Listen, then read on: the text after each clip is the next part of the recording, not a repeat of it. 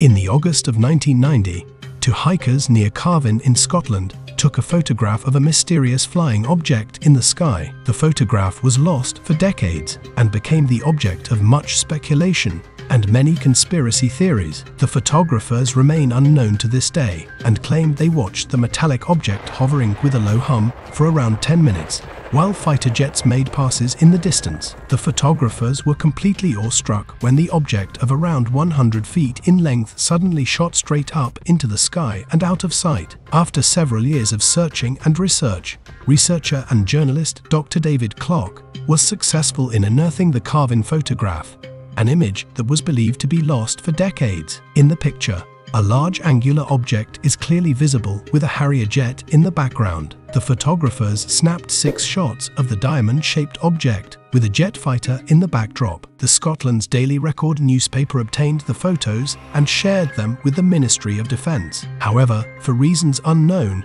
the newspaper never published the story. It was then that the urban legend of the Calvine photograph came into being with the photos staying hidden from public view until now. Dr. Clarke, known for his work in the Ministry of Defense UFO Files project at the National Archives, and being an associate professor from Sheffield Hallam University, was able to locate the photograph by tracking down former RAF press officer Craig Lindsay in 1990, when the initial story was investigated Mr. Lindsay played a major role as the mediator between the press and the Ministry of Defense. He kept a copy of the original photograph from Calvine. It has often been reported that a giant poster-sized version of the famous Calvine photo once hung on the wall at the MOD's UFO office, leading to the legend associated with it. Mysteriously, this poster was removed without a trace. It is a story often told by Nick Pope, who worked to investigate UFOs for the MOD in the 90s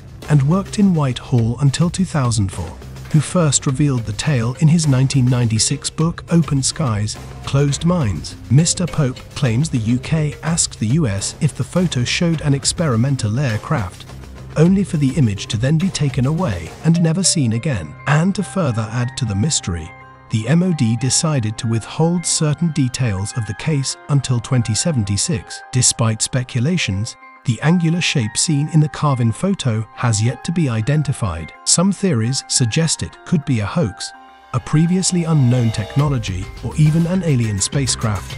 But no concrete evidence is available to prove any of these. The true nature of the large object remains unknown as according to the Ministry of Defense records from the same period, there was no definite conclusion regarding the large object. It is believed that the craft may be an experimental aircraft of the US, possibly being a black project, referred to as the Aurora. Mr. Pope has previously claimed the poster-sized Calvine photo was removed from the MOD after a diplomatic row with the US. He claims the UK asked the US if the photo showed their prototype Aurora spy plane, with Secretary of the US Air Force Donald Rice becoming incensed by the questions. In the aftermath of the dispute, the photograph was taken away and never seen again.